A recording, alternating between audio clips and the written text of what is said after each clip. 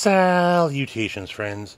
It's your pal, said Stevie, and looky, looky, what I got. That there is a Chaves. Yep, this is the Ultramar uh, 229 Kickstop Chaves. The newest hyped knife out there, in my opinion. Uh, people be talking about this thing like crazy. Uh, this is the Urban EDC Supply uh, exclusive with the Sigourney Weaver pattern, or Sagahai, Sagahai, uh, however you pronounce it. Not sure. But uh, this is on loan from Steve Cler, my Pacific Northwest knife brother. I was having breakfast with him this past weekend, uh, also with Stiff Detent and his lovely wife, quite frankly.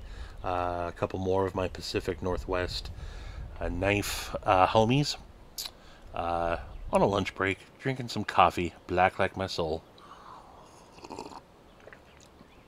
But Steve said, "Hey, you want to check this thing out?" And I said, "I sure do," because again, there's a lot of hype around this knife.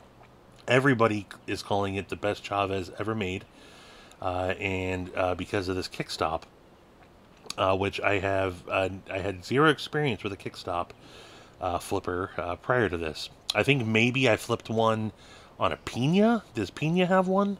I think maybe Pina had one uh, that I tried at a Blade Show or something. But uh, so I said, sure, I'll check it out, and I rode with it over the weekend. I didn't pocket it just because. I don't uh, want anything to happen to it. Uh, Steve might end up selling this when he's done. I don't know.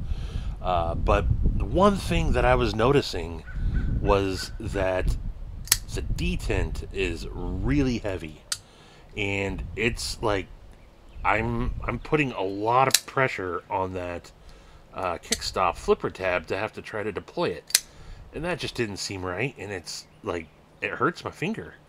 Uh, action is otherwise uh, great, uh, just what you would expect from a Chaves. Uh, but again, it's just really tough to deploy. So that can't be right. Uh, you know, it, with everyone saying that this is the best knife or best Chaves ever, um, I don't know. And then I noticed, and I thought maybe this was just part of the uh, construction of having a kickstop is you got a lot of uh, play in the uh, blade when you are touching the kickstop. Uh, so I was ready to say that this thing is too overhyped, and I don't know how people are considering this such an amazing knife, uh, just based on uh, the the detent and how much that was hurting. Uh, so flash forward a couple days, I'm hanging with Sharif and Maddie uh, live, or uh, not live, but uh, backstage on StreamYard, just uh, kicking it, hanging out, shooting the shit. And uh, as I am uh, messing around with this thing, I really did. I told them a hot take. I'm about to tell everyone that they're wrong, that this thing is not good. but then I noticed that I, I started just messing around with the pivot and I noticed that you can, there's lateral movement to this pivot. A lot of lateral movement. Like, can you hear that? It's snapping back and forth. Can you, can I catch it on camera? Well, it's not going to do it now. Yeah, there it goes. Uh, I sent video of uh, this to Steve uh, last night, but you can see there uh, lots of play in that pivot. And then depending on where uh, you have the pivot pushed off to, the detent completely changes. Completely changes. Um, if I push it over there now, now it's super light and I can easily fail it. Something I could not do before. I mean, see that? I barely give it any pressure and now it flops over. Uh, but then if I push the uh, that detent back in, it's back to being super stiff. So, uh, as I said, I took uh, some video of that, sent it to Steve, and said, hey, um, I don't want to do anything to this, uh, you know, without uh, you giving the okay. I haven't put any tools on this to try to tighten that pivot. Um, and he said, treat it like it's yours. Go ahead. Uh, he trusts me. So I figured I'd ramble on a little bit and do a disassembly on this because I am also very interested in learning uh, kind of how this uh, kickstop is working. Because it's uh, if you don't know about the kickstop, uh, this flipper tab is actually not attached to the blade itself. That's why when you deploy it, you have a hidden flipper. And it does create for some pretty good ergos on this uh, Chaves. Uh, but the Chaves already had good ergos. You know, typically uh, it's just a thumb stud only. Uh, pretty stiff on the thumb stud also, but a good thumb stud knife in my opinion. Oh, what you doing, Ella? What you doing? Uh, doggy's out with me. But uh, as you can see, when the uh, it's halfway deployed, you know, it, it rattles around because uh, it's completely independent from the uh, the knife or the blade itself. And if I'm looking at it, see if my uh, it looks like it's kind of on its own uh, detent slash uh, bearing system. So uh, I'd like to see how this is put together, and I'd like to fix this uh, issue, so I'm to take it apart. So, I think you have to take the clip off, or you don't have to take the clip off to, or no, maybe you do. I don't know. That's the whole thing with these new uh, Chaves is the clips or the screws used to be on the backside of the uh, on the inside of the scale, and then a bunch of people bitched and he moved them to the outside, which is completely stupid that I, if you think that that looks better than the original clip having those two uh, screws right in the middle of the forehead of this awesome pocket clip, uh, I think that that's a weird thing that you would like that. Uh, I think it completely ruins the aesthetic of the knife. Um, let's see here. Uh, T8s? Probably T8s. So let's see here. And I also want to see what it looks like with the uh, other pocket clip on. It comes with another pocket clip. So let's get to taking this thing apart. Uh, busting out the Coca-Cola can to uh, hold my screws. So I think I, at minimum, need to take apart the top screw here. Do I need to take... Maybe I need to take this down from this side. That makes more sense. That makes a lot more sense. So, uh, there is one screw there. One screw there. And then the uh, pivot. So this pivot is not free spinning, or is it? Nope, it's not. It's not free spinning, and I'm able to back this out. No problem. But it's... Well, okay, that's the pivot on that side. Alright, that's weird. Okay, this thing's just falling apart. Where'd the kickstop go? I wanted to see how that came out. Okay, there are bearings on, or washers on the kickstop. I want to be careful not to lose those. Okay. Okay, I didn't see how that came out, so that'll be... I'll have to mess with that. I guess that works as the stop pin also. Okay, both the washers just came off. You Need to be careful with that. I guess that doubles as the stop pin as well. So, uh, very basic construction. No milling whatsoever on uh, the scales. Uh, this is a hefty knife. If you've ever handled the Chaves, a full titanium, you already know this thing's heavy as F. But yeah, see, I, I, I think that the screw should be on the back side of the clip. That's just silly. Oh well, it is what it is. But uh, I guess this thing is not dirty. They did get a little sloppy with the. Uh, you'll see it when I put it back together, but when the knife or the blade is fully deployed, you still see a little bit of the satin uh, underneath. Uh, so they didn't cover it up as well as they should have uh, before they acid washed it and tumbled it. But I'm just going to give this a quick whack me down Wipe down these bearings real quick. Uh, so, I did not see how that kickstop came off. Uh, I guess the backspacer is going to just flop around there as well. Let me clean off the blade. Maybe I should put a couple dabs of lubrication on it as well. So, how did that work? I guess it goes like that. Yeah, it does. Because that would mean when it's fully open or when it's closed. How is that going to work? I don't know. I'll have to check it out. Uh, I'm going to pause for a sec.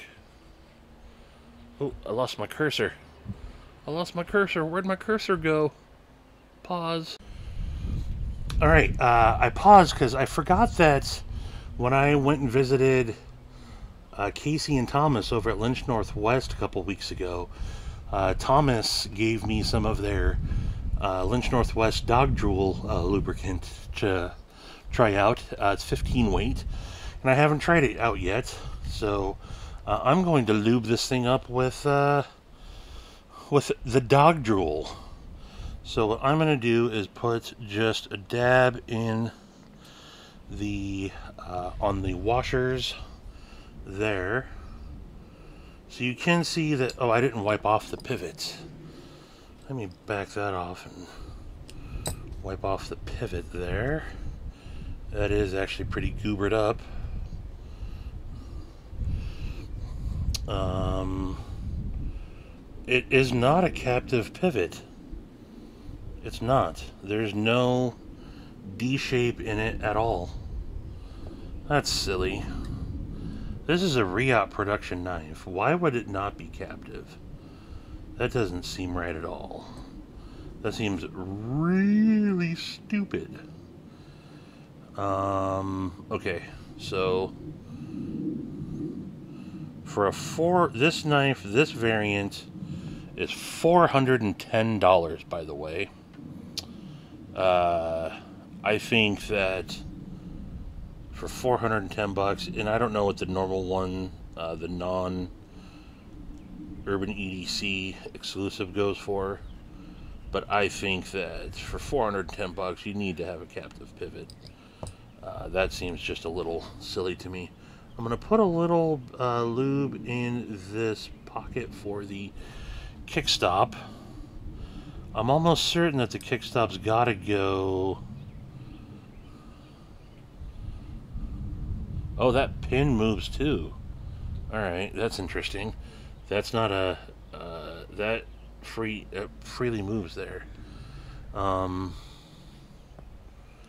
I'm going to put then little dab on around the uh, pin there. And then I'm going to set it in like so. It's got to go like that. Because, yeah, it's got to go like that. Do I need to put the blade in first? That's the question.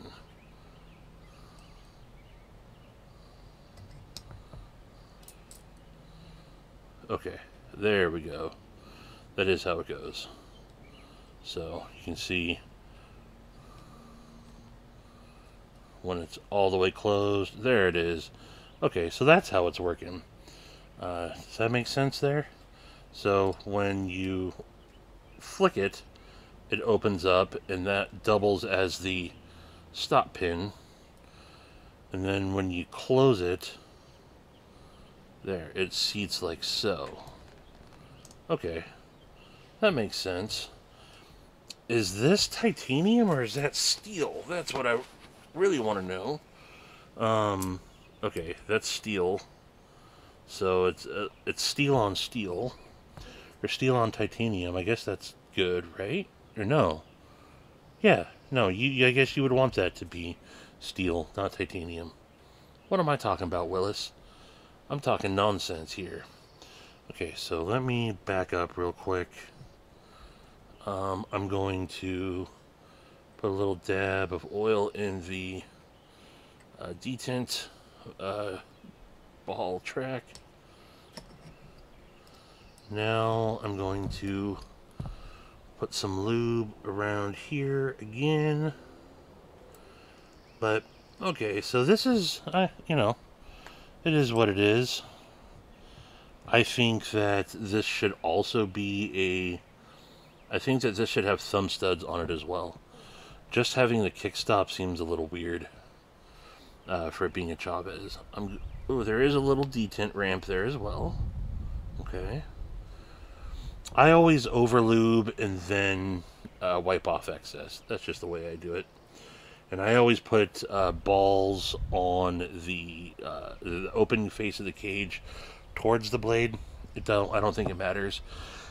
I'd also drop some skiffs in here if this was mine. I think it takes quarter inch or six millimeters, one of the two. Uh, so I lube that up, lube a little dab on. I didn't actually wipe that off. Let me wipe that off first. And now I will put a little dab on there. I said little, and then I put a lot. Um, some on there, and some in there as well. Now this should go back together like so. I don't have the... These have to line up there. Which I think that deer. So this will end up being a longer video than I had anticipated, but uh, I gotta say, uh, if I'm able to correct that pivot from moving around, uh, I don't understand why it is. Um, maybe if it was captive, it wouldn't be doing that. But if I'm able to correct that and make it so that detent isn't so freaking stiff, um, this knife, I, it's not as bad as I was going to say that it was. I still think that, um, okay, it doesn't want to, there we go, there we go, there we go for being a non-captive pivot, um, I'm not, it's not rotating, but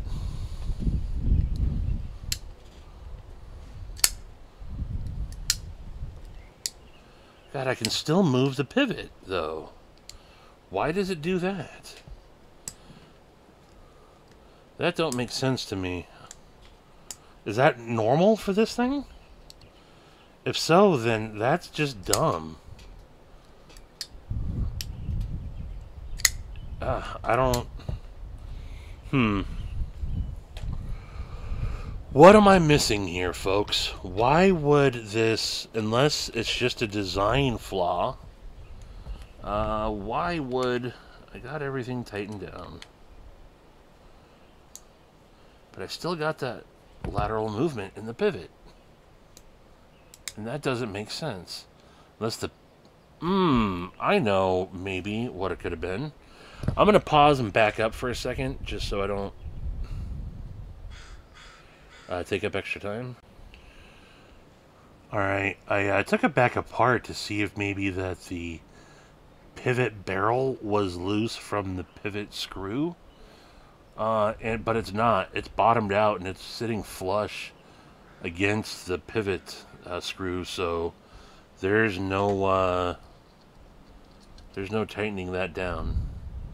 So why is there, unless it's just the tolerances are off, and if that's the case, uh, I don't know if they're all like that, or if that's just this one, and, and if that's the case, uh, I think Steve will have to address that with uh, Urban EDC and see what they want to do about that. So, alright, now I got these stupid washers.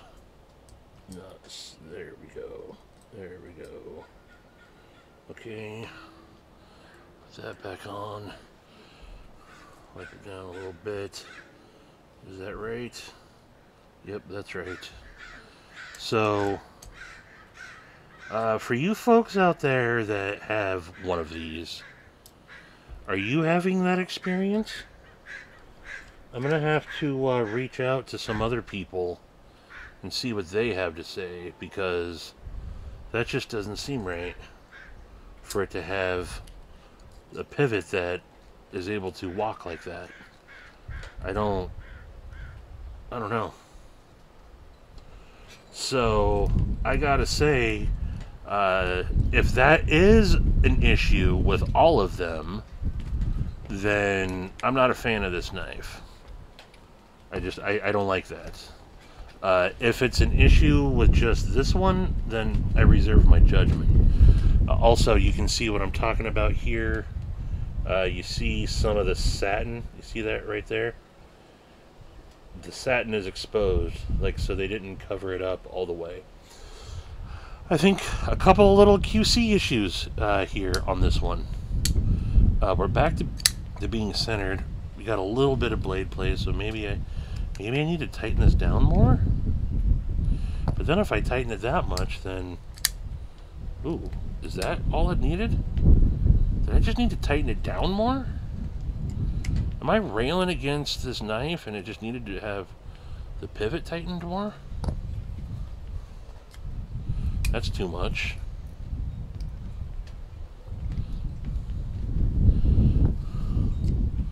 That's too much.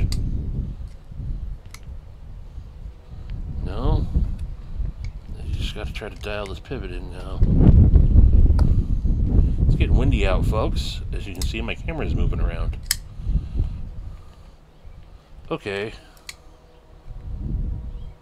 Maybe that's all it needed. Alright. I thought I had tightened that pivot down well enough, and I didn't. That there... Okay. that seems good to go. Though I have seen these drop a lot. The one that I had was a complete guillotine.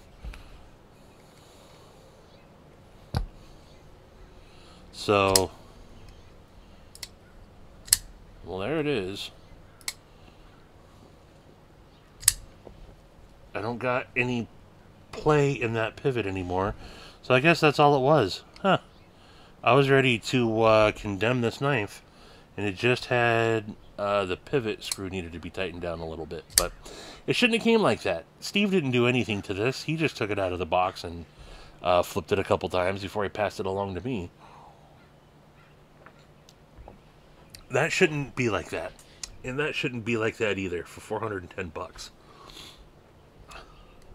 So, I also think that just little touches, and this is just a Chaves design thing. Where'd I go? Um, I think that they should have flush fitting screws. Everything sits super proud.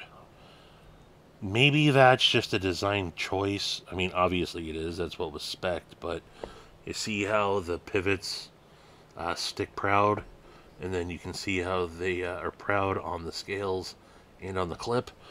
I think that those should all be flush fitting. And I do think you should have a captive pivot on there. But, yeah, the, uh, you light switch it, and it's got a snappy detent. I can fail it, still. So, it seems like maybe... Alright, so if I just loosen it back down, That's weird. If I loosen the pivot, I get a little bit stiffer of a detent.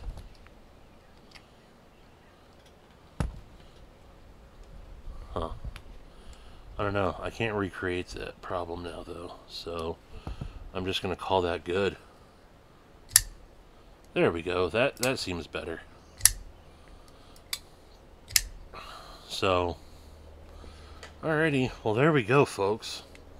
There is the Chaves Ultramar 229 with the, uh, is it Lee Williams uh, kickstop? Uh, I don't have the specs in front of me uh, for a Chaves. Uh, here it is against a uh, Para 3. Here it is against a uh, McNees Mac 2. I got shit all over that. Um, here it is against a uh, Dapper Ion. Uh, here it is against a, a mini Bic. Later, uh, here it is against a um, Oral B charcoal mint uh, floss pick. Everyone should have these in their uh, repertoire, their EDC. I'll tell you what, um, if you've made it this far, it's going to be a half hour video. If you made it this far, uh, first person to comment uh, that I see uh, floss like a boss, I'll send you a pack of charcoal mint Oral B floss picks. And you can try them out and let, them, let me know uh, what you think.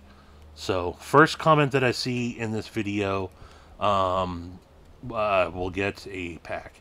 And you have to say floss like a boss. But, uh, yeah. So, you know, uh, I assume that you're already familiar with a Chaves. It does have a nice uh, hollow grind, a compound grind. I'm a fan of the Tanto a lot more than uh, the drop point. A nice swedge, a nice jimping. Um, I like that jimping up there. It's also, you know, similar to like the McNees. Um, what am I doing there?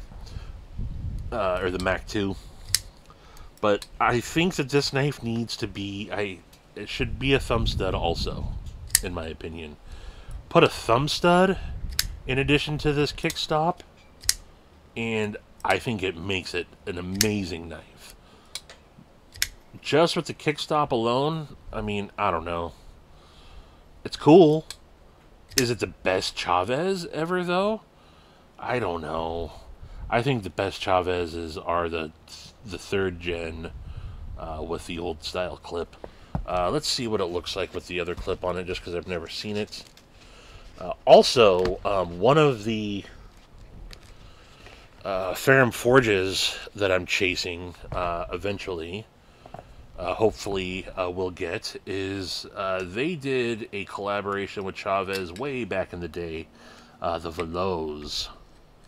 that's a pretty gnarly little knife, and it's a um, design collaboration.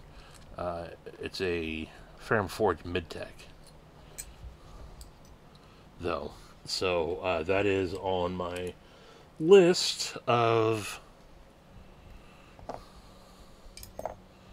of uh, Ferrum Forges I'd like to get eventually. So I know that uh, this is sacrilegious. Uh, there's no way I could ever carry a Chaves that did not have the skull clip on it. Can't do it. That's what to me kind of makes it. It's weird how a pocket knife define or a pocket clip defines a knife, but I gotta say, uh, I like the looks of that more than having the pocket the the screws going through the skull. But I don't know. That just seems I feel dirty just for doing that. But I think it looks better. I do think it looks better. Um, for sure, I think it looks better than having the uh, double tap in the middle of the forehead here. But um, I think that if uh, you were to carry this and you were to run into Ramon Chaves and you had this clip on there, uh, um, I think he'd be severely disappointed. Uh, he's a cool dude. I've talked to him at uh, Blade Show before. Uh, you know who's got actually one of the, what I really like is Eggs and Ham got the Blade Show West exclusive, uh, the Tanto with the chisel grind on it. That's pretty sweet. But well, I got this dialed in. Uh, at least that fixes that problem. That'll make Steve feel good, I think. That that's really all it ended up being. All this over a loose pivot. But, you know, you don't know until you take it apart and check. So, yeah. Well, I recommend this knife. Uh, Look, uh, if you are into Chaves, you probably already got one. I should say it's M390 on the steel as well. Uh, if you're into Chaves, uh, you've already seen the reviews and you've already made up your mind and you've already got one. If you're on the fence and this video sway is looking to sway you, uh, I don't know what the normal price is on these 375 bucks.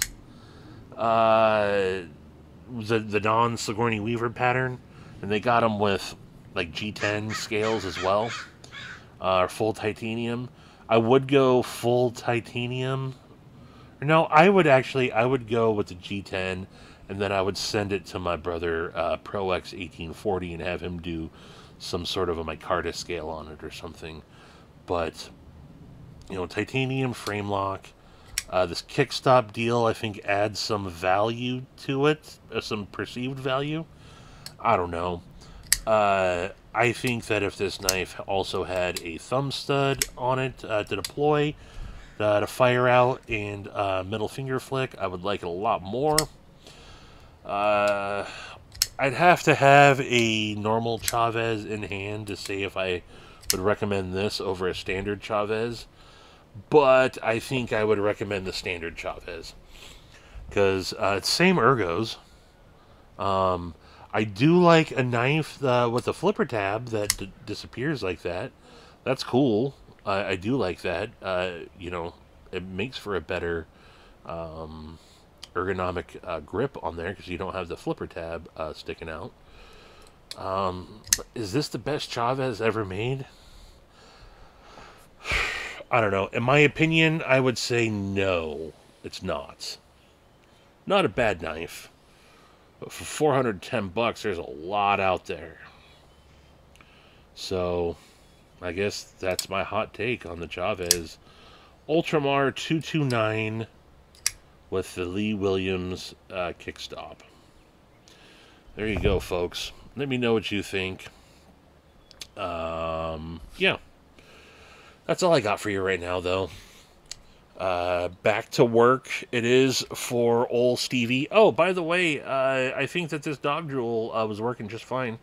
Uh, I got no problems with it. I got a couple more uh, disassemblies to do uh, to try out, but so far, I don't know what these are selling for on the website. they just gave this to me to test out and give them some feedback on it. But so far, it's good. I think it's, you know, it's on point. It's made in the United States. It's uh, uh, a product from Lynch Northwest. I'd prefer this over KPL, uh, just for that simple fact. Um, I'd rather have it, uh, and then I have Gunny Glide too. I don't, I don't have any problems with the lube. I typically use my nano weight uh, or my nano oil 10 weight, but um, I'd, I'd use this. I'd have no problem picking this up, uh, mainly because I am a Lynch Northwest fanboy. but it's also a good. I, I got no problem with it we'll see uh, how it does on the other ones, but first impressions are good. So now that's all I got for you folks. Uh, appreciate you tuning in. Uh, this was a long one today, uh, but uh, that's all for now. Um, you can subscribe right there if you haven't already, and check out that video as well if you haven't already. Give the video a thumbs up uh, if you could, and until the next one. I bid you mofos, deuces.